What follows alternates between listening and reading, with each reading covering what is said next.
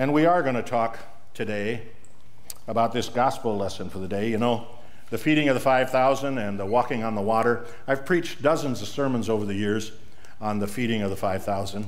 That was just men, by the way. You know, women and children, who knows how many. And uh, Jesus walking on the water, I've preached on that many times, and in some of the other gospel accounts, we have even Peter wanting to walk on water.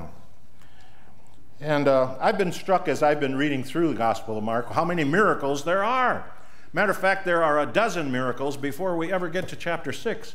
Uh, I hope you're reading the Gospel uh, once a week, huh? Read those 16 chapters. Uh, I'm learning things. I've been studying uh, for 52 years since I've been a pastor, the Gospels. But I still get something new every time. How many uh, of the healing miracles were driving out demons? It's amazing. Yeah, just read that gospel lesson. And so, you know, uh, you might have thought, well, which one of these two miracles, the feeding of the 5,000 or the walking on the sea, are you going to talk about then? And the truth of the matter is, I'm not going to talk about either one. Uh, I, I was thinking about the four verses that come just before these two miracles. And I was struck by what Jesus is described as. You know, he had, he had just sent the disciples out two by two, and they had been on their own for a while, healing and teaching people, and they came back and they were so excited. They were just exuberant with all the things they were able to have done, right? But not so much Jesus. You see, he had just been told that his cousin John had been killed by Herod. And so uh, uh, Jesus uh, uh starts off this uh, chapter 6 lesson for us today. And uh, I want to read it to you, part of it again, from the message paraphrase. Okay? You know I like that paraphrase.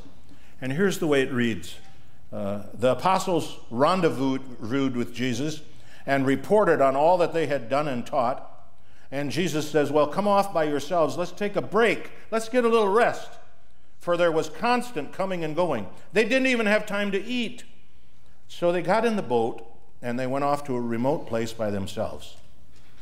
But somebody saw them going and got the word around. And from all the surrounding towns, people went out on foot running and got there ahead of the boat. And when Jesus arrived, he saw this large crowd, and at the sight of them, his heart broke. Like sheep with no shepherd, they were.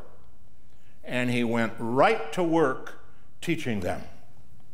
At the sight of the masses of people, his heart broke. Now, in the ESV translation that we use here in church and that, that I read to you earlier from, the, the word there is translated compassion. He saw the masses and he had compassion on them. The old King James Version actually has a pretty good translation too. It says he has pity on them. He has pity on them. He has compassion. It's a gut wrenching compassion. And that's why the paraphrase says, it broke his heart. It's a deep emotion, okay? So this morning, I think we can learn some lessons in Christian compassion from Jesus. And I believe it is crystal clear that a Christian, that Christian compassion has to be at the heart of everything we do in Christ's church today. Three lessons. Number one, compassion. First of all, we got to open our eyes. We got to see. Uh, that's the first thing. Or let's get personal here. As a congregation, we have to see what our mission is. Or really get personal. Each individual here, follower of Jesus Christ, we have to see. Yeah? We have to open our eyes. Christ looked upon the crowd and he saw. What did he see? He saw this huge crowd, and at the sight of them, his heart broke. He had compassion, he had pity. We need to see what Christ saw from the boat as he looked at the masses of people. And he saw them as straying sheep without a shepherd. To be a compassionate church, we need to open our eyes to see the lost sheep all around us, lost and straying, right? When the ocean liner, the Titanic, sunk by the iceberg and sank, they published a list in New York's harbor where the boat was supposed to have gone. Now, I know on this slide you can't really see the detail of it, but it's the actual poster. It actually appeared in the paper. It's the actually actual poster that was posted. And there's a list there. Two lists, really. One list of all those who were lost, and another list of all those who were saved. Didn't depend upon how rich you were, didn't matter if your cabin was a suite up on the upper decks or if you had a, a, a staff cabin down below. They didn't list the wealthy, they didn't list the royalty, nothing else. There's only one thing that counted on that list whether you were saved or whether you were lost. When we look at the world today as Jesus saw it, we don't see wealth and royalty and titles, right? Fancy clothes. We see it as lost or saved. And the Lord is speaking to us who already know the shepherd, who have been gathered by the shepherd. Christ is calling us to see the world through his eyes of compassion. Have you ever wondered about that amazing word in John's Gospel, chapter 10? Jesus says, I have come that they might have life and that they might have it in abundance. What does that mean? Hmm? Does it mean that a person could be alive, you know, heart beating, lungs breathing, and yet not really have abundance of life? Yes, that is exactly what it means that there are walking dead people out there. They might be alive, but they don't have abundant life. That's what a straying sheep is. And if we open our eyes to see, they're all over the place. They're all around us. They don't know about the love of Jesus. They don't have faith, hope, and love that comes from the Spirit of the living God. And that's what Jesus saw when he looked upon the crowd. He saw walking dead people. Got that? Step number two. After we see what Jesus saw, then we have to care about them like Jesus cares about them. You know, Jesus didn't have to have pity upon the straying sheep. He could have said, Well, I could care less, huh? What I talk to the kids about. He could have said that. He could have said that about you and me. It's amazing that he actually cares about us. Uh, as a matter of fact, we're told, although we'll never understand it, that before the foundations of the world were laid, he already saw Adam and Eve sinning and that the fact that we were going to need a Savior. That's the art of Christian caring, to be able to come to the aid of somebody who has a need even though it's going to cost a great deal. It cost Jesus a great deal. Loving parents, I think, know all about this. You know, when they're just about ready to discipline a child and they say to them, This is going to hurt me more than it hurts you. Yeah, really? Why? Because I care about you. That's why I'm doing it. Now, a, a kid is not going to understand the reality of that.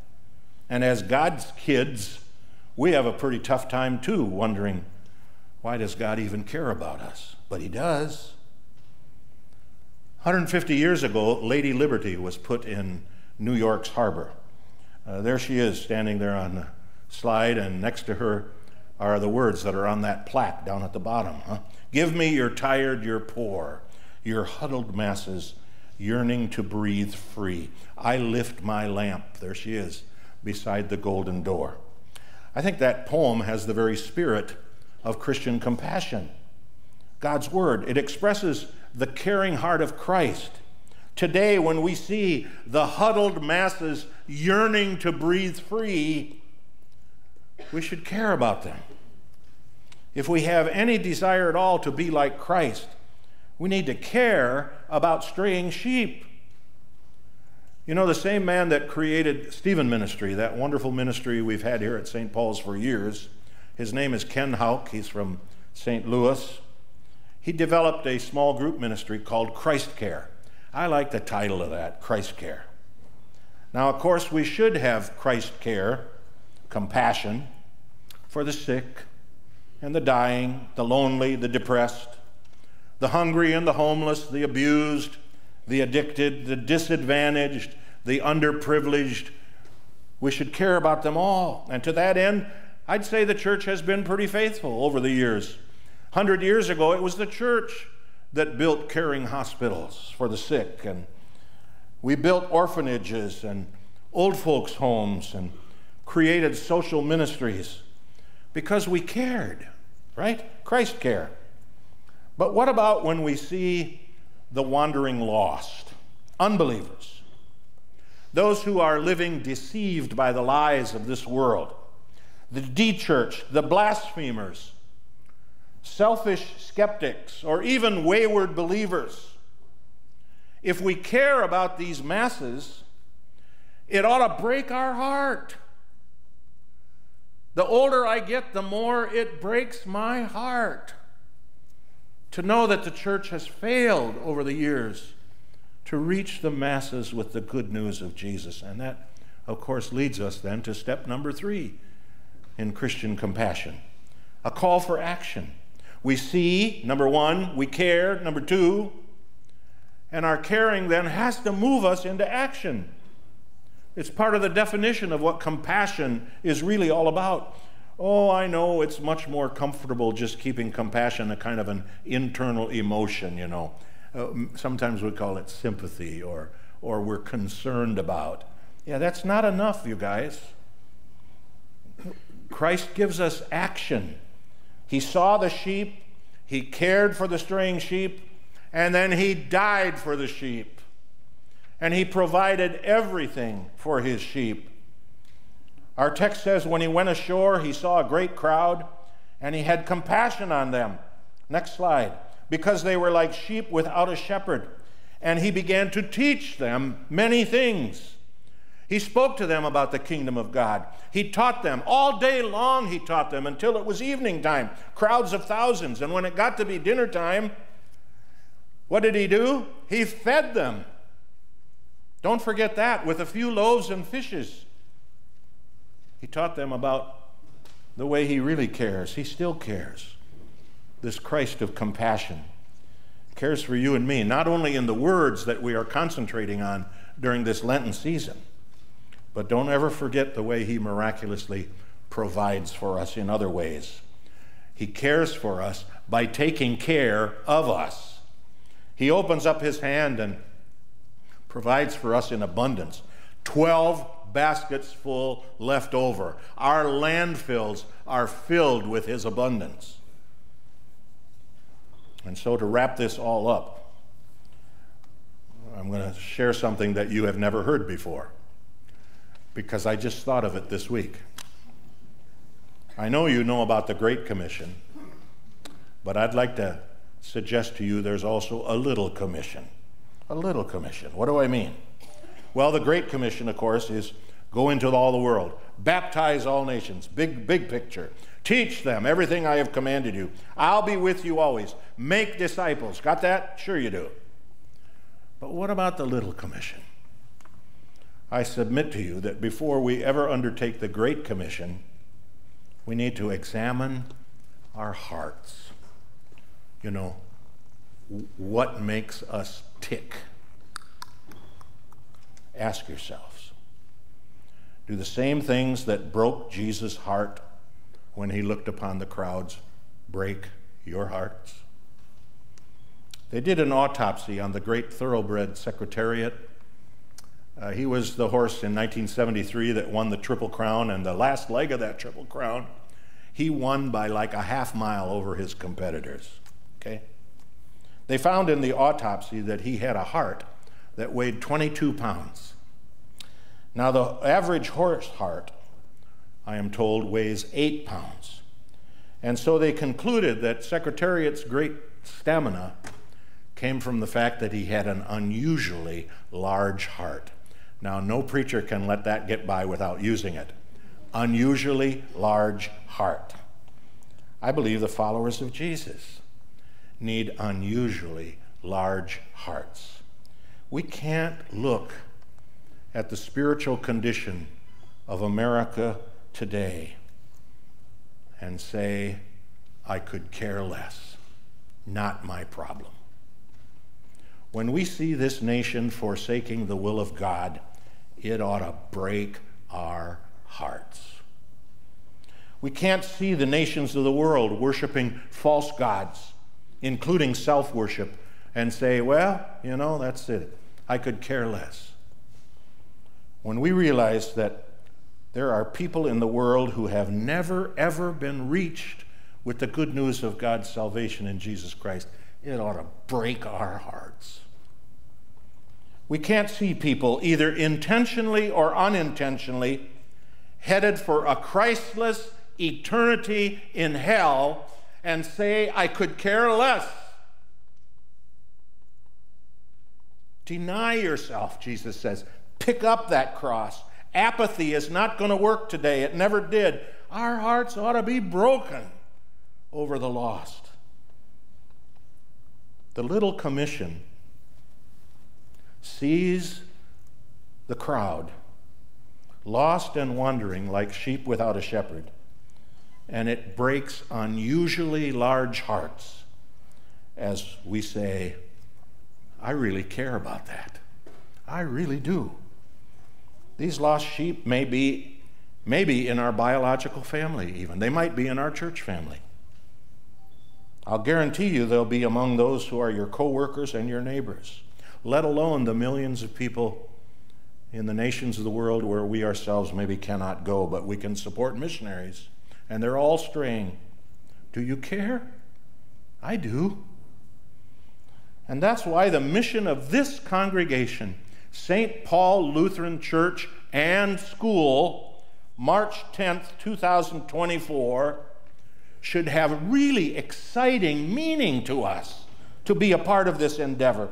Our gathering together, just as Christ gathered his 12 together and sent them out, it's vital. We can't do this on our own.